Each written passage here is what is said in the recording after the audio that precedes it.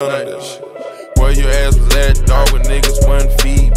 Hello ladies and gentlemen, my name is Dive, and I'm going to, uh, I'm gonna give you this little tutorial because I have found that it is a really, really easy thing to do. You guys will later figure out what this is, I just want to have a little, uh, little time to talk. If you don't know me, I do a little bit of, like, Call of Duty gaming and stuff like that. I tell stories with a video camera going. If you, uh, if you want to check them out, I will uh, just click on my channel and you can find them on the videos list. But I found this is a really easy method to do, and it is it's just phenomenal. So if you do record with an Elgato, then you would probably want to do this because uh, if you're like making a funny moments or something like that, or if you're just like talking about like clan stuff or whatever, you know, and you want to record party chat with an Elgato, but you don't know how to do it, you have clicked on this video. You're on the PS4 menu you all you want to do is just go to settings okay? You go to settings you go down to it should be devices okay?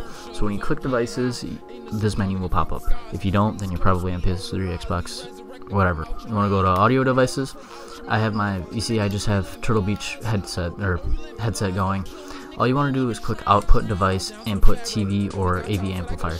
This will take the party chat and it will make it go through the TV so if you're recording with a Blue Snowball or any other type of mic, your mic might pick that up. So if I were you, all I did to solve this problem was I took some Apple headphones or any type of headphones and I have a headphone port on my TV so I just plug it in there. It still comes out the Elgato. I can hear it through my headphones so that was all good. Yeah that's really really easy to do after you click that and you have someone in your party I don't right now because I'm making a video.